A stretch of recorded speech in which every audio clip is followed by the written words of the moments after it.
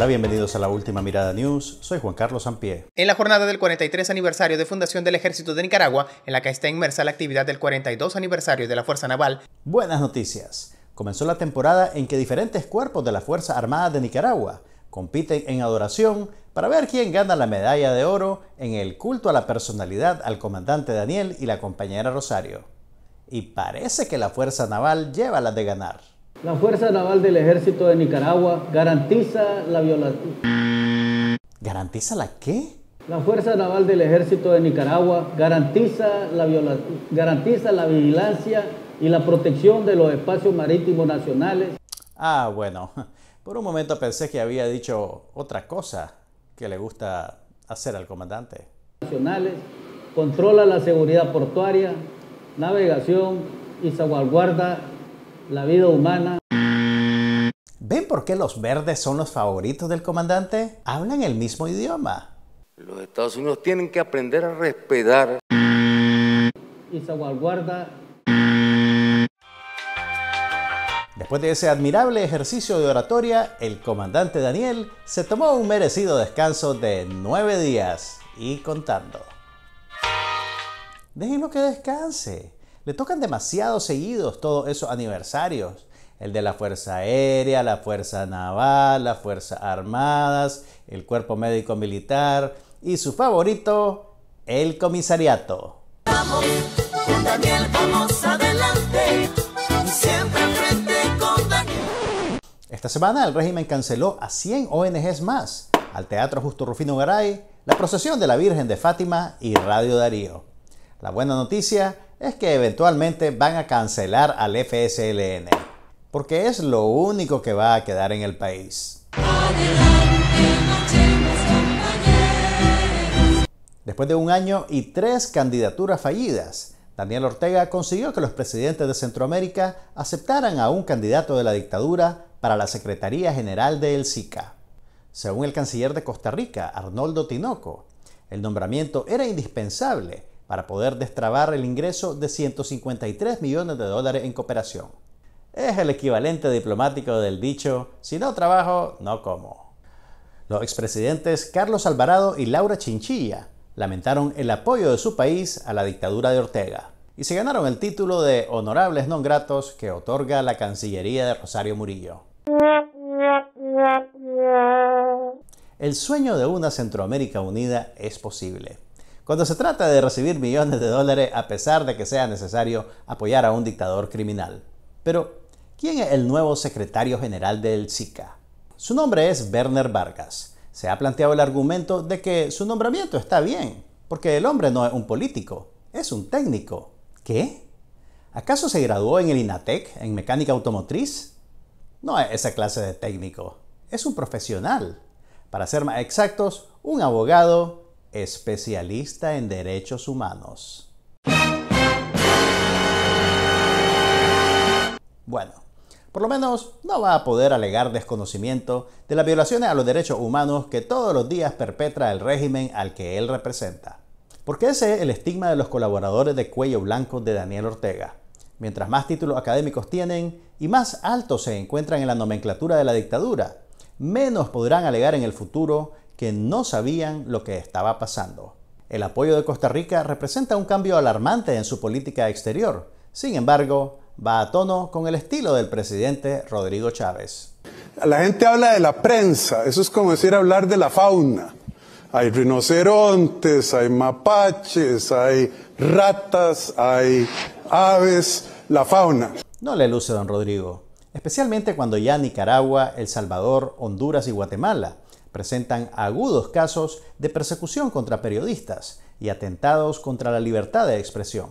Supongo que ese es otro lazo que une a nuestra región, pero sean consecuentes. Si a los presidentes de Centroamérica les gusta tanto Daniel Ortega, por lo menos tienen que escucharlo cada vez que habla en público.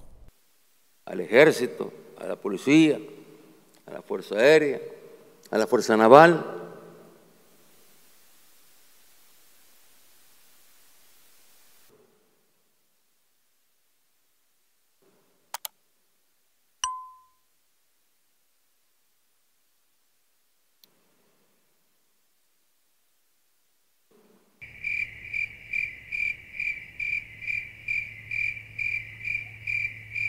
tengan paciencia, ya va a hablar, solo hay que esperar un rato.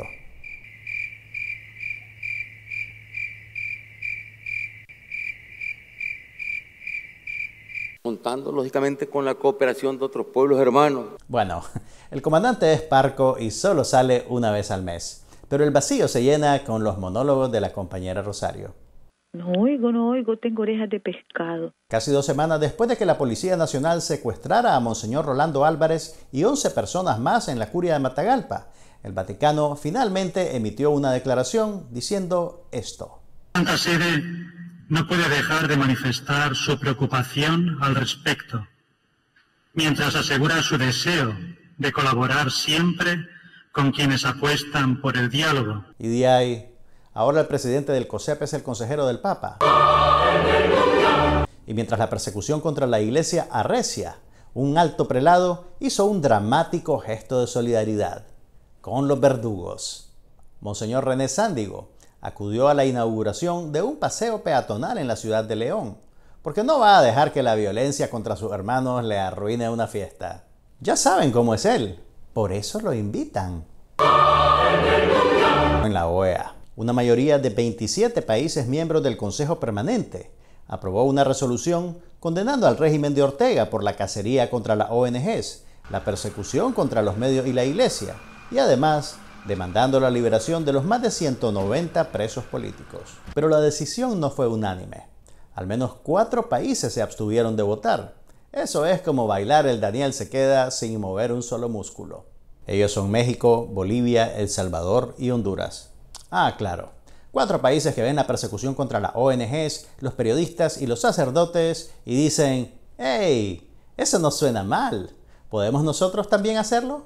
Pero bueno, por lo menos están guardando las apariencias. El tío Ralph ya está más allá de eso. San Vicente y Granadina fue el único país que votó en contra de la resolución.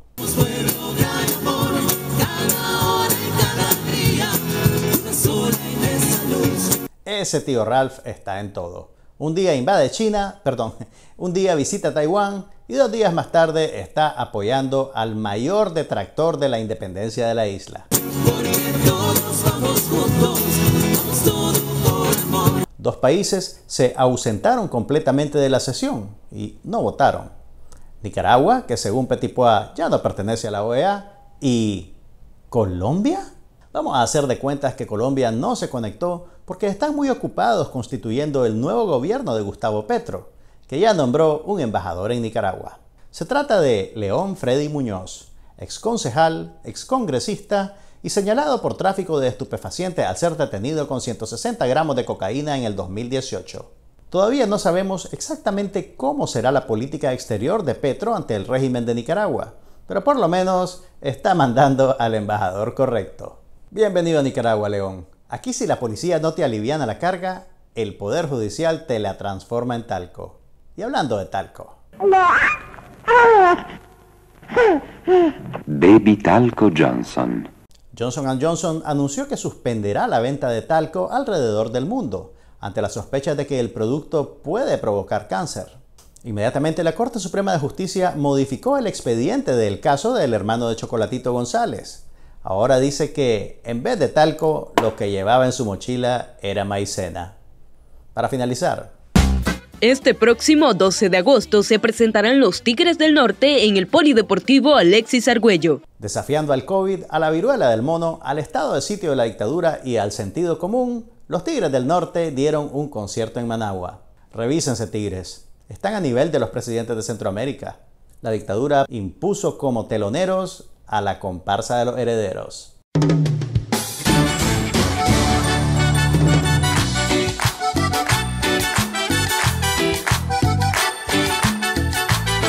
son el grupo musical favorito de mamá. No oigo, no oigo, tengo orejas de pescado. No nos vamos a callar. Exigimos la liberación de los más de 190 presos políticos secuestrados por el régimen y la anulación de los juicios espurios en su contra. Grito fuerte desde abril. Buenas noches. Todos gritan presente. Gracias por ver este video. Con tu sintonía podemos vencer la censura televisiva en Nicaragua. Y si aún no lo has hecho, suscríbete a nuestro canal en YouTube. Necesitamos tu apoyo a Confidencial para seguir informando a nuestras audiencias y divulgando la verdad.